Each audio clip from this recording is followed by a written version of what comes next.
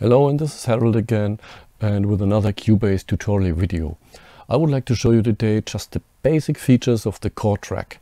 I won't go too much into detail, we'll only show you the basic features and there's plenty room or plenty features for more videos on that. The chord track itself I put here in the top of the my Cubase and um, here you can type in or write in the chords you want to use as maybe a notepad or you want to use in your song. When you right click and go to the pencil, you can draw here the first blank space and then you can double click on it and you see the editor. Here you can select what kind of chord you want. You have the root note, the kind of chord you want, major, minor, diminished, suspended, uh, some tensions you want to use and the bass note. Here you can select if you want to, for example, have the C over G as an inversion. So if you click on the little plus here, you will jump to the next bar and you can select the next chord. Let's go to the F, go to the G and go back to the F. So how do we listen to these chords now? Uh, you have two possibilities. You can select in the drop-down menu any of the sounds you have in your arranger, any of the tracks, or you go to moni use monitor tracks. That means whatever track you selected will play these chords. So I select the piano, Go back to the top.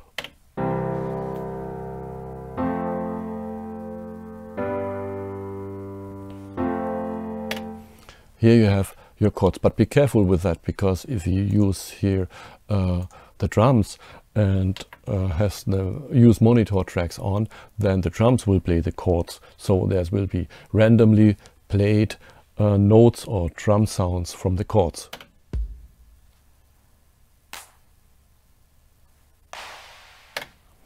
Okay, um, I'm not using that very often. Most of the time I use another feature which is dragging and dropping the chords onto the track I want to play. So here you have the track and here you can then change it or apply some MIDI editors or whatever you want to do. And what you can see here is that the F is played differently um, in the second bar than in the fourth bar.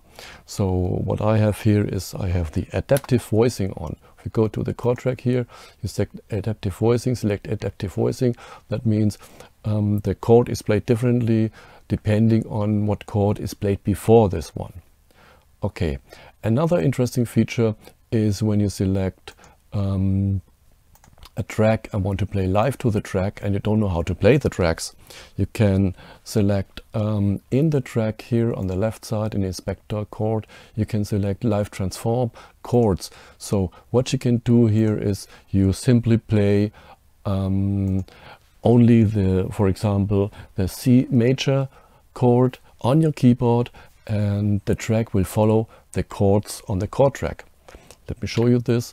Um, you can see here on my keyboard I'm playing only the C major. Uh, let me change first my latency. Oh, it's okay, like this.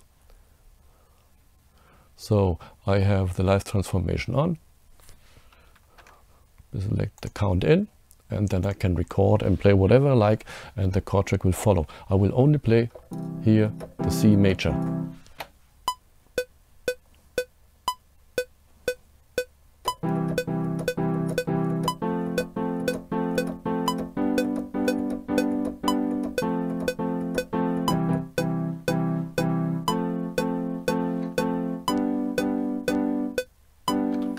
Okay, I missed one, no problem, uh, but you get the idea. Whatever you play here, uh, the chords will follow uh, depending on uh, the chord track.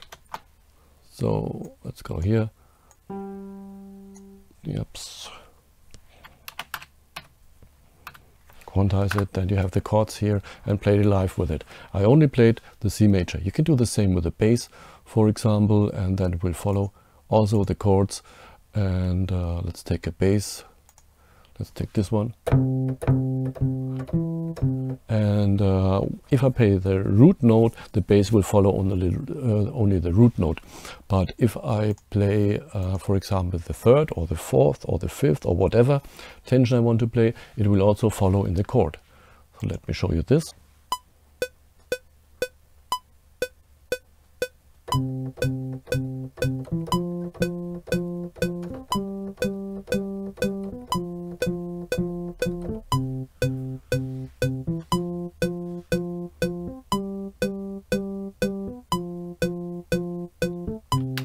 Here you can see how the bass line is following the chords and is following also um, the way I played it. So I played the third and I played the fifth and it's following the chords.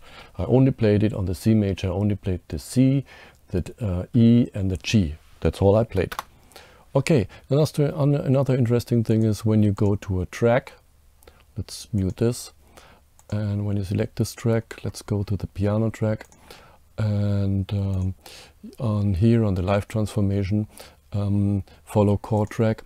And you say follow chords and it will follow directly the chords you have here. So whenever you change a chord let's go now from the F major say to the F minor. It will follow this on your already used track here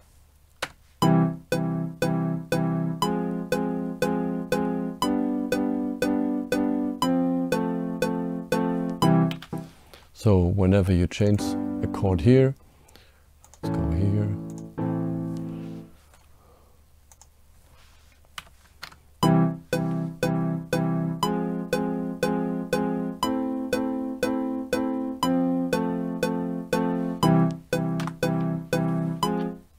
So whatever you use here, the chord track or the track itself will follow the chord track.